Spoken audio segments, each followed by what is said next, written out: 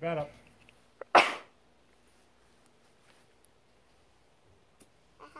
No, you missed it. I missed it. Here, You do it again? Do it again. Put your bat up.